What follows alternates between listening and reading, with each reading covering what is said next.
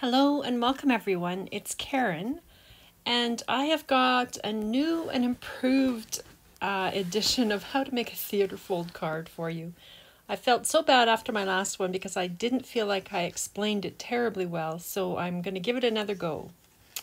So I'm just showing you here that this card is actually made out of one piece of cardstock, 8.5 by 11 inches, and you need four uh, regular A2 size cards, so four, uh, four and a quarter by five and a half inch cards.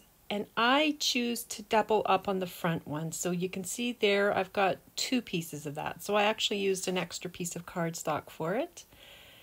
And I'm just marking here what all the pieces are just to help make it a little bit uh, more self-explanatory for you.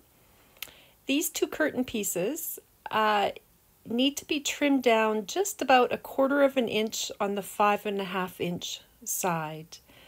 Uh, and that's just to allow them to slide through the sleeve a little bit better. So I'm just going to trim off that quarter of an inch there and save those quarter of an inch pieces because they're perfect for making the stoppers on the platform. So to start with the front, I like to start with that and get it out of the way. I have actually cut a piece of uh, gray cardstock, so mine is really going to be three layers thick. I am just simply taping the two front pieces together here because I'm going to use my uh, rectangle die to cut out the center. And I believe that die was four and a quarter inches by three inches. Um, and save those inside pieces because that's what I cut the platform from. I've already made my platform and I, I actually cut two of those. if you can do two, go for two. Uh, they should be about one inch by four inches and I just uh, embossed with the wood grain and then ink blended. Now here I am showing you that I've marked the centers and I just used one of my smallest circle dies to die cut the notches for your thumb to go in. If you have a, a round paper punch, I think that would work as well and then I glued all three fronts together. Now these two pieces, these they're the sleeves. They're actually the only thing you need to cut from another piece of cardstock, but they're just uh, a half an inch by, I think it was five and a half inches. And I'm marking uh, just where the edges of the front end, and I'm going to crease there. And that was at about 5 eighths of an inch on both ends. So there you can see it's a half an inch by five and a half inches and just crease the tops to fit the, the front. So I'm putting glue on these little tabs and they're going to go along the ridged or the notched side of the back of the front piece. And when you put them on, just don't make them too tight. You want a bit of room for the curtain to pull through. Now I choose to cut out those notches because I don't like to feel like I'm pulling the sleeve as well as the curtain. I don't think you have to do this though but I do it and you'll never know. It can be as messy as you like. Uh, the curtain actually covers all of that. I'll show you that here. So you don't see it whatsoever. Okay, now to make the curtains easy, you're taking both pieces. You're going to crease it in the middle at two and three quarter inches and also at one and three eighths of an inch. So there you have it, two, one and three eighths and two and three quarters. So do that for both of them. So in the middle, so you're creasing it down the halfway and then halfway over to that edge as well. And then what you're going to do is the one on the right will be just rotated and then that's got everything creased in the right spot. Now you're going to make uh, crease all of those, crease it in the middle. They're all mountain folds. So you crease it up and the same with this one. And that's all you have to do for those curtained folds. Although I do, you'll see this, it's coming up. I, I really crease and fold all my paper, um, movable paper parts. I just think that they work better if you keep on creasing and folding and manipulating those those folds as best you can. So you'll see here I'm going over them again and really working the folds so that they will move a little more easily. So this is how the folds will go together on the card. So that is the back and where it's creased, you've made those two creases, those will go on underneath. Now here I'm just marking the top and the bottom along, I've kind of centered those pieces where I, I feel like it's fairly centered on that back piece and I just make a little mark uh, where the top and the bottom are and that will help when you go to glue everything down a bit later. So now this is another four and a quarter by five and a half inch piece. It's cut from the same cardstock as the front. And this I'm going to put on the front of my uh, folded pieces, so on the front there. And you can see I just spattered some of that Starry Sky, that Gansai Tambi, or Kuretake Tambi. Oh, what is that? That's that Starry Sky uh, paint anyway. I'll put it in the details below. And I'm trying to decorate it here, so I'm using these dies. They're from Memory Box, the Alpine Trees, and I've used some from this Cabin Snow Globe set as well. And when you're doing the decorating on the front, you just want to be careful. It's going to get cut in half, so you can't have anything crossing that midline. So that Santa sleigh needed to be moved out of the way a little bit, and it'll get cut right down the center. So you can see that there. I've glued everything down and I'm just using a Nuvo Shimmer pen just to, you know, put some color on or sparkle on the trees.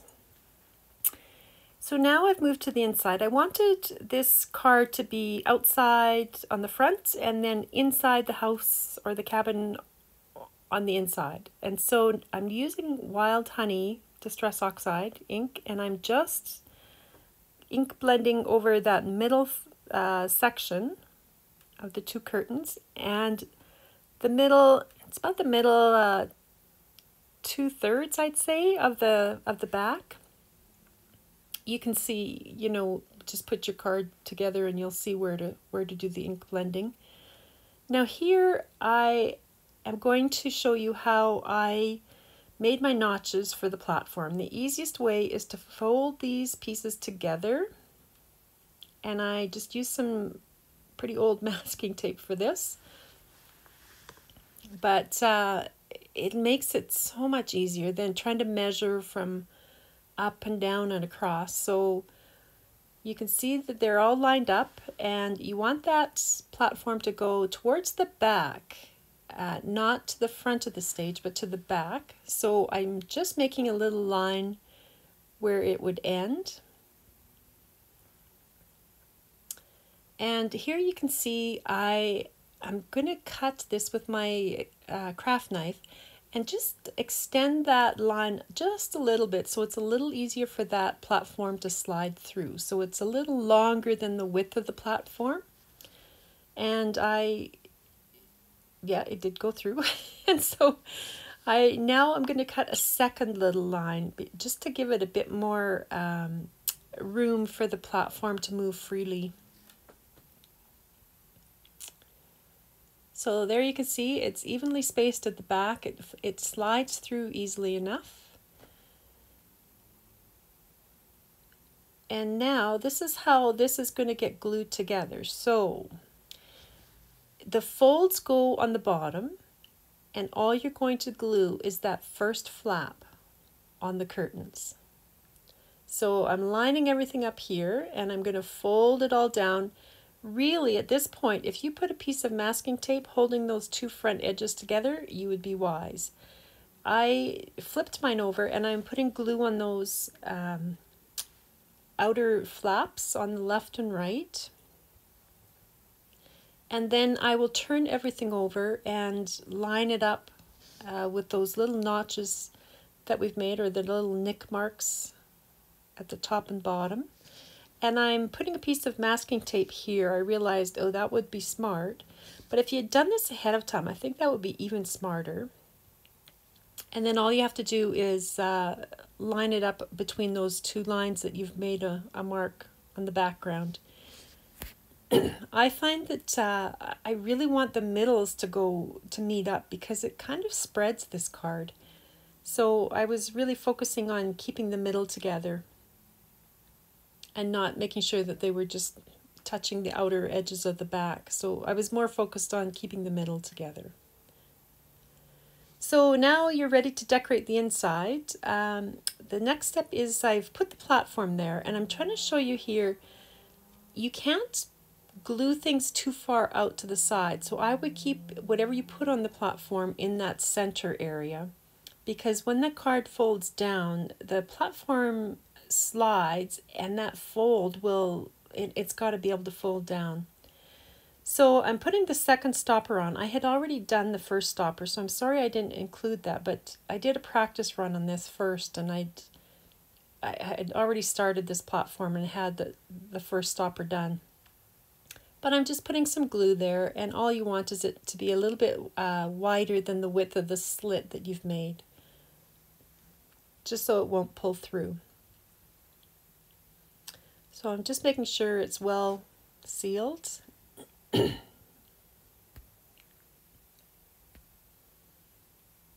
and I've stuck all my little images on. I've got all these images are from different stamps. That Santa is a Gerda Steiner Designs one. Uh, puppy, puppy Kisses for Santa a lot of those little presents are, well, they're from all the different card Christmas stamp sets that I've got. Here now you're going to slide these sleeves, the curtains through those sleeves. And that's really all you have to do for this card, quite honestly. You don't, you could leave it at that and you'd be okay. It's really quite fun. It will stand up very nicely. It stays open. Um, so probably for the recipient, they could leave it open on a, on a shelf. Now, for my sentiment, I found this sentiment from, it's a uh, Your Next Stamp one from Santa's Helpers, I believe it was called. And that's a PinkFresh die that I used, uh, noteworthy frames to cut it out. And on the back, I'm just showing you there, you can leave it like it is. You can write on the back. I just prefer to have an extra piece of cardstock there. So I've cut one that's six inches by four and a quarter. And I'm just going to put a crease half an inch in from the side. and I'm just creasing that down. And then I used my tape runner to uh, put a little bit of tape along the edge and lined it up with the back right edge of my card and that was it. So that is the card. It's actually a really fun kind of a card to receive. So I hope that, you know, this will inspire you to give it a try. It's uh, not as hard as I made it sound, I think, in my last video. I hope I've improved anyway. So thank you all so much for joining me, and I hope you have a great day. Thanks.